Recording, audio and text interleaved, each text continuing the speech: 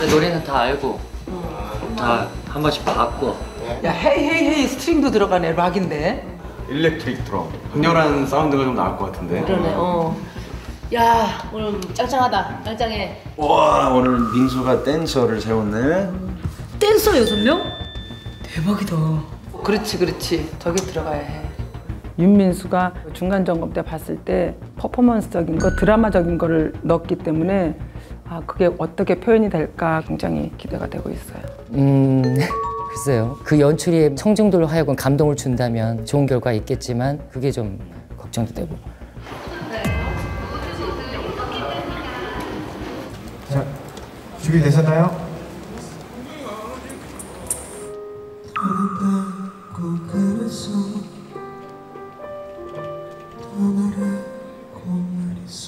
민수 오빠가 중간 점검 때 진짜 생각했던 것보다 더 잘 어울리셨어요. 저랑 또 비슷한 감성이 많으시기 때문에 그냥 그대로만 하셔도 너무 잘 어울리실 것 같아요.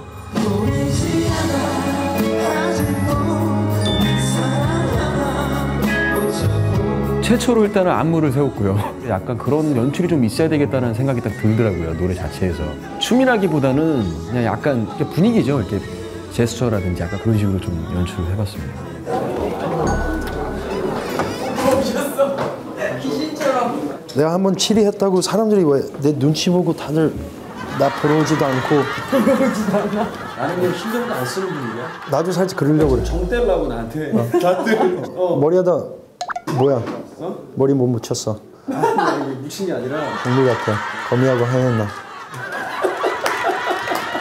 오늘 우리가 위기잖아. 누가 떨어졌으면 좋겠니? 그렇지. 누가 떨어졌으면 좋겠어. 한, 한 명을 뽑. 웃긴데 그게. 셋만 빼고. 이러면 안 되겠지만. 제가 제일 걱정이죠. 사실. 지금 분위기가 지금 사실 저거든요. 윤민수가 떨어져야 될 타이밍이다라고 이런 분위기이기 때문에 뭐 이미 마음의 준비는 하고 있고요.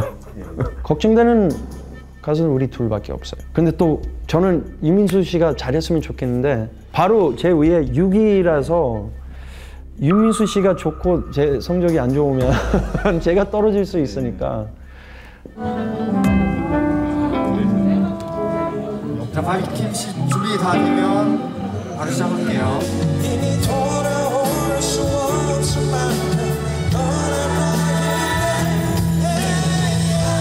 저번 주 중간 평가 때 아비양이 딱 노래 불렀는데 정말 자기 노래처럼 잘 부르시더라고요. 그리고 또 중간에 또 랩도 들어가요 원곡에서. 제가 봤을 땐 바비형한테 딱 맞는 노래를 잘 고른 것 같아요. 네.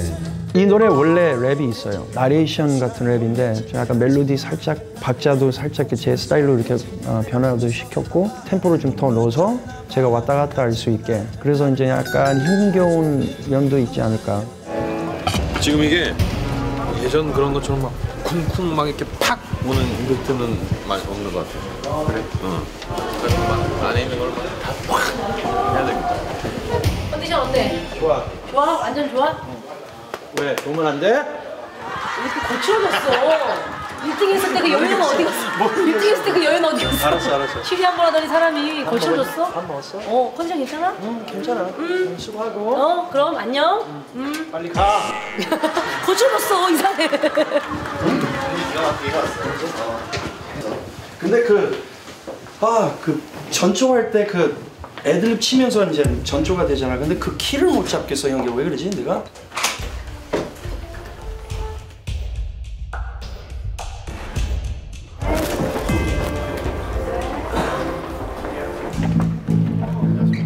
안녕하세요.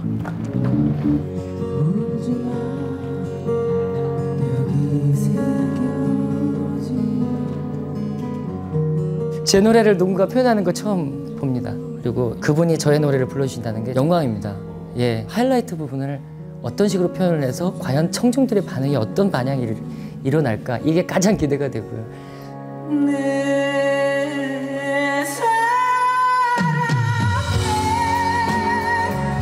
아 너무 힘들어요. 이게 음폭이 너무 넓어서 게다가 저는 완전 그런 샤우팅 창법도 아니고 그냥 이렇게 육성 통으로 부르는 창법이거든요. 그러다 보니까 오 난이도가 좀 있네요.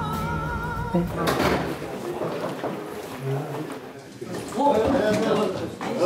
왜 이렇게 어렵게 불렀어? 뭐야? 누나 하시는 거 어려워요? 뭐야 시방? 어려워. 사과하세요. 일단 사과하세요. 빨리. 왜 그렇게 불렀어 노래를 이 사람이 어떻게 진짜. 사과하세요. 처음 오셨을 때 아버지 이후에 또 한 번의 감동이 지금 그거 기대하고 있어요. 아 시끄러? 잠깐 습관성 들으세요. 몰라.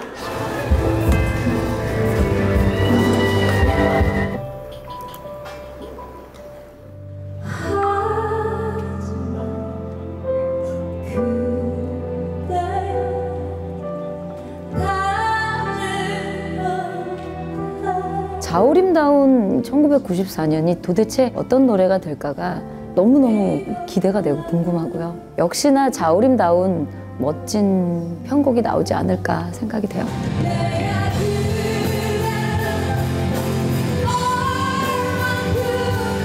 장혜진 선배님의 1994년 어느 늦은 밤은 속으로 다 사겨요 노래가 다 사기고 울지 않아요 자우림 버전의 1994년 어느 늦은 밤은 굉장히 큰 소용돌이가 있어요 감정에. 슬픔을 좀 극대화했거든요 잘했다 임나야. 이랬으면 좋겠어요 언니가.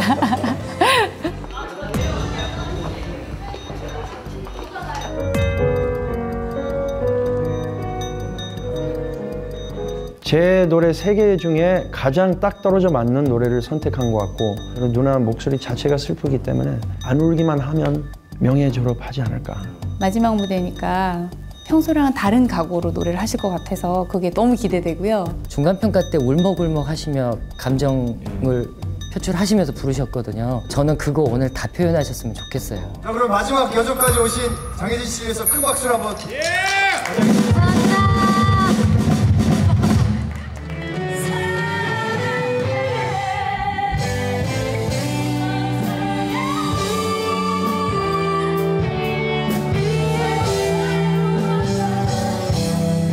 바비킴 씨의 다른 곡들도 물론 이제 불러봤는데요. 사랑 그 놈을 불렀을 때 울컥 하더라고요.